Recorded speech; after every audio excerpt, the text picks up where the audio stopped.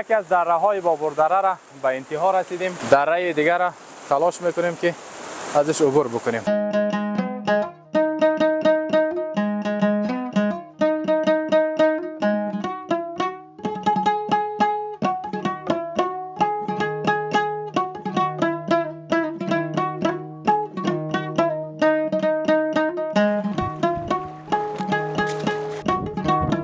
رسیدیم در موقعیتی که قرار امشب خیمه را پهن بکنیم و فکر می‌کنم دوستا روی موقعیت و جای مناسب خیمه بحث و گفتگو داره. دوستا ما و شما ساحه را می‌بینیم که واقعا ساحه است که یک شب در اینجا ماندن لذت خواد داشت ماجرا خواد داشت دلچسب خواد بود و شبی به یاد ماندنی خواهد بود.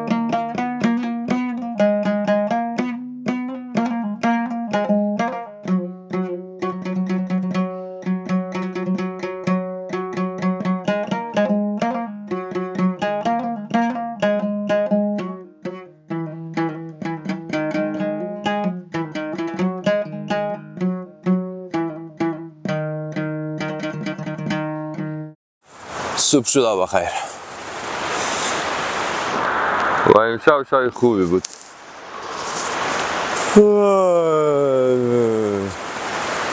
گرگار همسایه داشتیم شغالار همسایه داشتیم ولی همسایه داری رو مراحت کرد و مزایم از من نشد.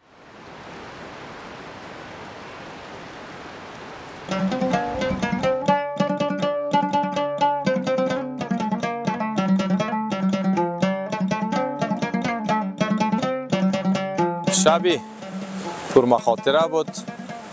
وقت زیبا بود امرا با کمی و هم البته از ساحه به خاطر که ساحه دور است از منطقه و واقعا جای گوشه قرار گرفته. فعلا از این ساحه خداحافظی می‌کنیم با تمام زیباییش البته یک مکان و یک نقطه جالب دیگه هم داریم. و اینجا هم به تصویر خود کشیدیم.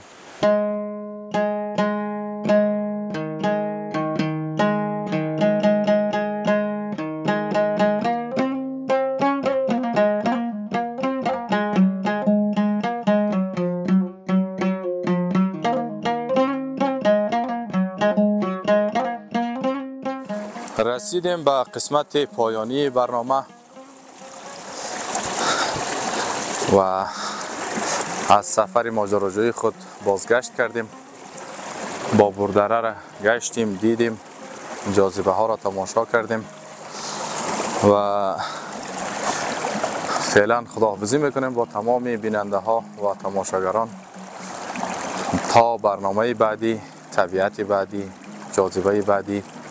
و همچنان ساحه مورد نظر همگی شما قرار بگیره. این وعده ماست افغانستان ادونچر را فراموش نکنین و بعد از این با شما خواهیم بود.